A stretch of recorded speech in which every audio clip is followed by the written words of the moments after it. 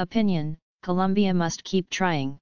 The rejection by a slim majority of a peace settlement with FARC comes as a shock to the people of Colombia. For more details click on the link below.